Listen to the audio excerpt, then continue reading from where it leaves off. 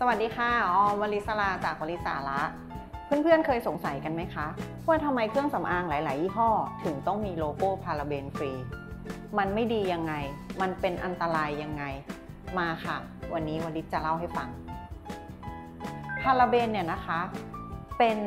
สารกันเสียในสกินแคร์แทบทุกประเภทที่อยู่ในชีวิตประจำวันของเราค่ะ ตั้งแต่เราตื่นนอนมายาสีฟัน ครีมอาบน้ำแชมพูครีมนวดผมบอดี้โลชั่นทุกอย่างทุกสิ่งอันล้วนแต่มีพาราเบนเป็นสารกันเสีย และใช้มาอย่างเนิ่นนานค่ะทำไมนะหรอคะ เพราะพาราเบนมีราคาถูก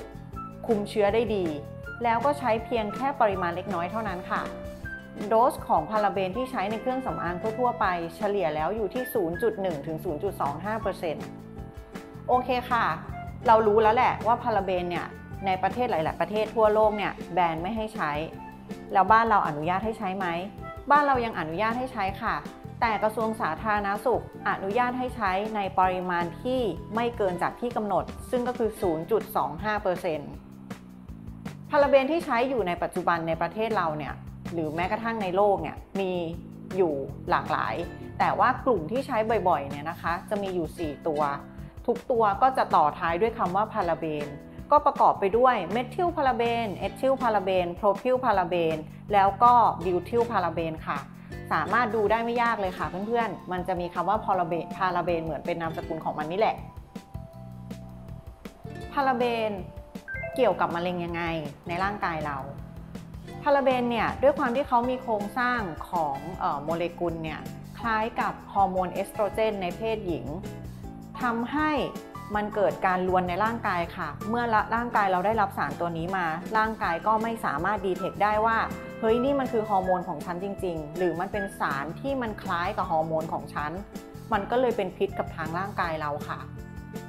ในปี 2004 งานวิจัยของประเทศอังกฤษ ค้นพบว่าในกลุ่มตัวอย่างที่เป็นมะเร็งเต้านมทั้งหมด 20 คนเนี่ยสามารถเจอพาราเบนในเนื้อเยื่อของเต้านมในกลุ่มตัวอย่างเนี้ย จาก 20 นะคะ เจอถึง 19 เลย แปลว่าอะไร แปลว่าพาราเบนเนี่ยมันสามารถซึมเข้าสู่เนื้อเยื่อเราได้ แล้วก็ตกค้างอยู่ในร่างกายเราได้ แม้กระทั่งจะไม่มีงานวิจัยยืนยันว่ามันเป็นสาเหตุของออมะเร็งเต้านมหรือไม่ แต่นี่ก็น่ากลัวพอแล้วนะคะ ที่เราจะต้องไม่ใช้มัน แล้วพาราเบนมีผลกระทบอะไรกับเราอีก อย่างที่วลิตเล่าให้ฟังเมื่อกี้นะคะ ว่าด้วยโครงสร้างของเขาอะ่ะ มันคล้ายกับเอสโตรเจนใช่ไหมคะแล้วเอสโตรเจนเนี่ยมันก็เป็นฮอร์โมนที่จำเป็นจริงๆ กับเพศหญิง ทั้งในเรื่องของเต้านมประจำเดือนในเรื่องของการตั้งครรภ์มันก็เลยส่งผลให้มีภาวะแท้งบุตรได้ง่าย มีบุตรยาก แล้วก็คลอดก่อนกำหนดก็ได้ค่ะในบางเคสที่เคยเจอ รวมถึงว่าพาราเบนเนี่ยยังมีการแพ้บ่อยๆด้วยนะคะ การแพ้ก็จะเกิดเป็นผื่นแดง หรือแม้กระทั่งเป็นตุ่มคัน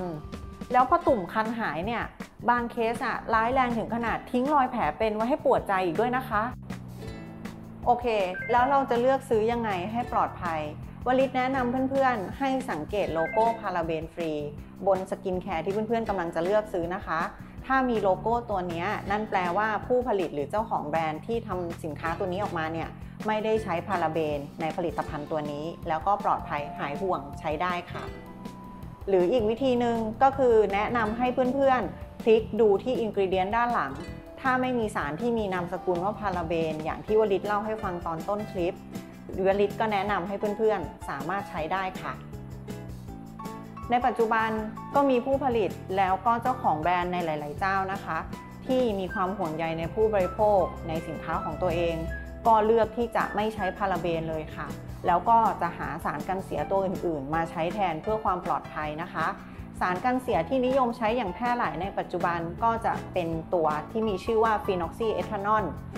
มันชื่อเอทานอลมันมาจาก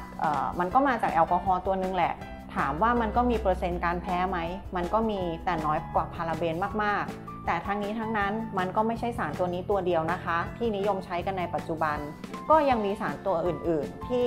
นำมาใช้ในผลิตภัณฑ์ที่แตกต่างกันอยู่ด้วยหากเพื่อนๆต้องการทราบสามารถคอมเมนต์มาถามได้ค่ะสำหรับคลิปหน้าจะมีสาระอะไรดีๆ มาฝากในวันนี้สาระแบบนี้อีก อย่าลืมกดไลค์กดแชร์ กด Subscribe ไว้ เพื่อไม่พลาดสาระดีๆ ในวันนี้สาระนะคะสำหรับวันนี้ สวัสดีค่ะ